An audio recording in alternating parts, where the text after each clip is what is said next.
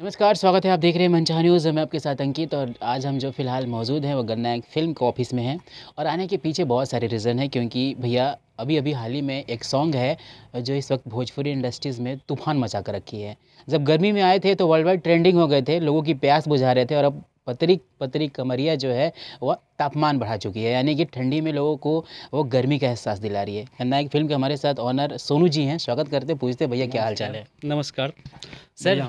सबसे पहले बताओ कहाँ से चुराया था ऐसा कंसेप्ट कि आते ही पूरे भोजपुरी इंडस्ट्रीज़ में आग लग गई है?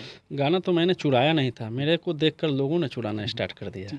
चुराने मतलब कॉन्सेप्ट आपने कहाँ से किया था? कैसे सोची थी कि इस गाने कॉन्सेप्ट रोशन विश्वास जी का है हम्म। और प्रियांशु भाई का म्यूज़िक है। तो मेरे को भैया ही बोले कि भैया ये गाना है किया जाए। तो रोशन भैया हमको बताए थे। उसके बाद पवन भैया की तरफ़ से भी आया। गाने पे काम किया जाए तो हम लोग किए सबसे बड़ा सवाल उठता ये है कि आपकी मुलाकात पवन जी से कैसे हुई? शुरुआती दौर में जो बातचीत थी वो कैसे हुई? क्योंकि अक्सर ही मन में कई सारे सवाल रहते थे क्योंकि आप पहले से पहले बहुत सारे जो प्रोजेक्ट खेसारी लाल जी के थे तो अचानक से जब वहाँ गए तो वहाँ की मूवमेंट जो थी वो कैसे बदली और बातचीत का जो दौर था वो शुरू कैसे हुआ? सबसे पहले मैंने ऋतिक भाई को कॉल किया था। हम्म, ऋतिक भाई को कॉल किया। अच्छा दोस्त है मेरे। हम्म। तो हम लोग को बात अक्सर होते रहती थी। तो ऋतिक भाई को कॉल किया तो ऋतिक भाई को मैं बोला कि भैया हमको पवन भैया का गाना करना है। तो कि बिल्कुल किया जाए। तो हम बोले कि कब? तो कि हम आते हैं पटना तो किया जाए अभी मैं। कलकत्ता थे शायद। तो वो आए और हम लोग गए दिल्ली गए थे। तो भैया से मुलाकात हुआ। मुलाकात होने के बाद ऋतिक भाई बताएँ भैया को कि भैया ये सोनू जी हैं गन्ना एक फ़िल्म से तो अच्छा कहाँ घर बात? तो हम बताएँ भैया को कि भैया मेरा घर दोनों जगह है आरा में भी है और पटना में भी है। तो अच्छा ठीक बात। तो कहाँ से आवत रहो? हम कहीं भैया घर ही से। तो ठीक बा पहले ऐसा करब कि पहले तू लोग खाना खा हम्म। ओकरा बाद गाना उना के बात हुई।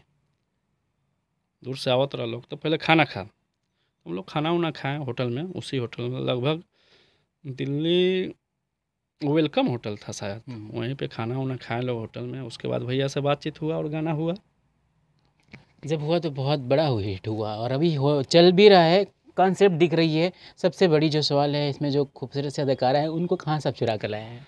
उनको अन्ना लाए हैं महेश अन्ना उनका नाम है। जी। और वही उनको लाए हैं मतलब कॉन्सेप्ट के अनुसार ही। हैं हाँ। डर नहीं लग रहा था कि खेसारी जी का इतना बड़ा कोका कोला बिग हिट दिया है आप, आपने और अब जाकर पवन जी के साथ बात कर रहे हो पत्री कमरिया को लेकर तो कि भैया इस कहानी को भी चलो लेकर खेसारी जी के पास जाते हैं और जो आपकी जो पूरी प्लेटफॉर्म है वहाँ पे खेसारी जी की थी तो मन में डर नहीं लग रहा था कि एक बड़ा चांस ले रहे हैं आप और कहीं ना कहीं वो आपके लिए उल्टा ना साबित हो जाए? सबसे पहले मेरे को सच में लगा था डर हम्म। कि खेसारी भैया के साथ काम कर रहे हैं तो हो सकता है कि ऐसा वैसा कुछ हो। लेकिन जब मैं पहली बार मुलाकात किया उस समय भी अंदर डर था। हम्म। लेकिन जब भैया एक शब्द बोले कि पहले खाना उना खा लो ओकरा बादे काम होई। हम्म, तब हमको लगा कि नहीं इंसान को झूठ मूठ के बदनाम कर रहा है लोग। अगर बदनाम इंसान रहते तो मेरे को खाना खाने के लिए नहीं बोलते। डायरेक्टली बोलते कि ऐसा बा कि हम गाना ना करम तू जी। तो जो बंदा बोल दे कि पहले खाना उना खा ओकरा बादे होई। हाँ। और भैया ऐसे सामने बैठे हुए हैं हम हम और ऋतिक भैया ऐसे खाना खा रहे हैं उनके सामने ही खाना खाएँ लोग। और उसके बाद सब डील हुआ। खेसारी जी से बात हुई? इस सिलसिले में या फिर नहीं हुई है कि हाँ इतना अच्छा गाना? भैया से बातचीत होते रहता है मेरा। जी। ऐसा कुछ नहीं है। हम्म। बातचीत होते रहता है। जी जी। इतना बड़ा बिग हिट दिया था आपने गर्मी के मौसम में कोका कोला फिर ब्रेक क्यों हुई अचानक से? खेसारी जी की जोड़ी आपके साथ नज़र नहीं आई बीच में दो तीन महीने। बात वो नहीं है बात है कि खेसारी भैया का कहीं एग्रीमेंट हो गया। जी जी। तो समझ रहे हैं। एक बड़ा बड़ा दौर था बस बड़ी बदलाव थी इंडस्ट्रीज़ के लिए हर हाँ हाँ। ऐसा नहीं है खेसारी भैया से बातचीत होते रहता है और खेसारी भैया का भी गाना आएगा। हम्म। ऐसा कुछ नहीं है। जी जी। पवन जी के साथ तो आपने शुरुआत कर दी है। कहें तो अच्छी ग्रांड शुरुआत कह सकते हैं इसको। आया गाना झूम का आया बज भी रहा है। आगे कौन कौन से गाने इनके साथ और भी गाने लगातार आएँगे? कंटिन्यू है गाने। हम्म, बहुत सारे गाने आ रहे हैं। जी। कैसा कॉन्सेप्ट कैसा रहेगा उन गानों का? इससे कुछ अलग रहेगा इस बार। मतलब एकदम से भोजपुरी हाँ, में चीज़ें बदल देंगे। हाँ जो स्टार्ट किया हूँ ना जिस प्रकार का कॉन्सेप्ट में लाया हूँ हम्म। उससे कुछ अलग अलग ही रहेंगे। शूटिंग के दौरान कैसा माहौल था? जब अक्सर पवन जी की बात होती है तो कहा जाता है कि थोड़ा बहुत लेट लतीफ़ चीज़ें इनको काफ़ी पसंद है। तो आपके साथ कैसा था? शूटिंग में फ़र्स्ट दिन तो मेरे को डेकोरेट करते उठते एक दिन ख़त्म हो गया। हम्म, दूसरा दिन भैया के दाढ़ी उढ़ी पे शूट हुआ उसके बाद तीसरा दिन क्लीन क्लीन करके। हाँ हाँ। तो लगभग तीन दिन शूट होते रह गए। जी। तो डर नहीं लग रहा था कि तीन चार दिन ये चीज़ें चल रही है और फिर पवन जी का रिएक्शन जो आएगा वो कैसा होगा? तो रिएक्शन तो सामने है आप लोगों का ना? हाँ बहुत अच्छा तो मैं तो बोला कि डर उसी समय खा खत्म हो गया जब भैया बोले कि नहीं पहले खाना उना खैबा लोग तब बात हुई। हाँ। तो उसी समय मेरे अंदर से डर खत्म हो गया था। जी जी। मैं सोचा उसी समय समझ लिया कि कुछ अब लगता है कि कुछ आएगा तो बहुत बड़ा ही आएगा। जी जी एक सवाल जो सबसे बड़ा सवाल होने वाला है क्या पवन जी के साथ तो आपने काम कर लिया खेसारी जी के से भी साथ कर लिया क्या एक ही गाने में दोनों सुपरस्टार नज़र आएँगे? गन्नायक फ़िल्म पे और गन्नायक फ़िल्म ऐसा भोजपुरी का पहला माइलस्टोन कंपनी होने वाला है जो दोनों स्टारों को अपने एक ही गाने में लाने वाला है। दोनों स्टार को दोनों स्टार से बात करना पड़ेगा। जी। उसके बाद ही कुछ होगा। दिल में वो गुदगुदी शुरू हो गई है कि हाँ लाएँगे तो हम ही लाएँगे। ऐसा कुछ नहीं है बहुत सारे ऐसे ऐसे हैं बोल दो सामने कि हाँ लेके आ रहे हैं। बहुत ऐसे ऐसे इंसान हैं। मैं अपने आप को कुछ नहीं कर सकता। जी मतलब मन में चल रहा है एक गन्नायक का वर्कर हूँ। एज ए एम नहीं हम्म। एक वर्कर और अपने से काम करता हूँ किसी को भेज कर ये वो कुछ नहीं। जहाँ मैं जाता हूँ खुद काम करता हूँ। खेसारी जी के और प्रोजेक्ट कौन कौन से हैं? पवन जी के जो बहुत जल्द आने वाले हैं। अब प्रोजेक्ट के बारे में बता दूँगा तो फिर लीक हो जाएगा ना। नहीं लीक नहीं करना है। ये बताना है कि कब थोड़ा भी बताएँगे तो लोग खोज लेते हैं ना। अच्छा। खोज लेंगे। मेल फीमेल सब हाँ हैं। क्योंकि गन्नायक की जो कोका कोला की जो रेट है इतनी सर्च रेट ज़्यादा है कि कहीं से भी सर्च कर लेते हैं अब क्या है ना कि कोका कोला पीते पीते लोग ठंडा हो गए हैं जी। और ठंडा का मौसम अब आ गया है। तो अब कमरिया को पतली कमरिया को अब हिलाएँगे ना जी।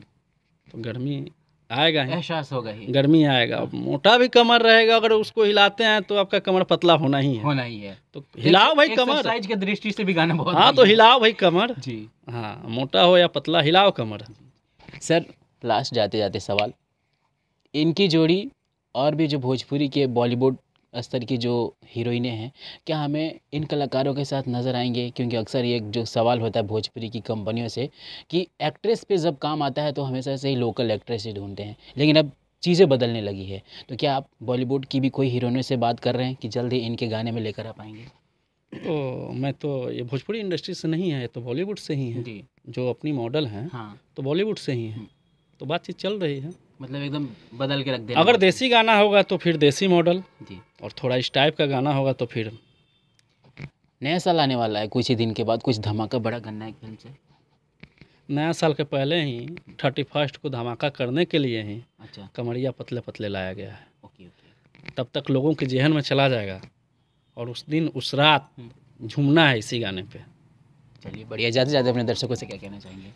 दर्शक लोग से यही कहना चाहते हैं कि इस गाने को जिस प्रकार प्यार दुलार दे रहे हैं आप, उस प्रकार मेरे भैया का मनचाहा न्यूज़ है, उसको भी प्यार आशीर्वाद दीजिए। चलिए धन्यवाद सोनू जी हमारे साथ जुड़ने के लिए। बहुत प्यारा सफल हमें अपना, अपना देने के लिए। तो देखा आपने पीछे बैकग्राउंड में तस्वीर दिख रही होगी इनके भी वो जो छप्पन इंच की छाती है चौड़ी हो गई है क्योंकि ये बहुत बड़ा करेजा लेके आए थे। वहाँ पे उस प्लेटफॉर्म पे जहाँ पे खेसारी जी थे उसके बाद एक बड़ा प्लेटफॉर्म जहाँ सीधा पवन सिंह जी का गाना आता गाना हिट हो गया। भैया अभी जाओ क्लिक करना और गन्नायक फ़िल्म पहले टाइप कर लेना अपने सर्च में यूट्यूब की सेक्शन में और इस गाने को सुनो भर भर के प्यार दो और आने वाले कुछ दिन तक यानी कि साल इंड इंड होते तक इस गाने को शो मिले ना हाँ सौ मिलियन। सौ मिलियन पक्का मुहर मार दे। निश्चित सौ मिलियन जाना ही है इस गाने को। जी जी तो सौ मिलियन पक्का कर दो एक क्या गिफ्ट देंगे हमको? आपको गिफ्ट यहीं पे बुला के कुछ दिया जाता गिफ्ट देखिए गिफ्ट अगर बता के दिया जाए तो वो गिफ्ट नहीं रहा। सही बात है। गिफ्ट को मतलब हमेशा से ही वो सेपरेट रखना चाहिए। सेपरेट रखना चाहिए। तो चलिए भैया जल्दी जल्दी करो लाइक 31 दिसंबर ख़त्म होने से पहले सौ मिलियन और फिर इसके बाद हम यहाँ पे ऑफ़िस में फिर आएँगे। फिर जानेंगे कि आगे कौन कौन सी प्रोजेक्ट आ रही है और किन की आ रही है। तब तक अपना ख्याल रखें मुस्कुराते रहें।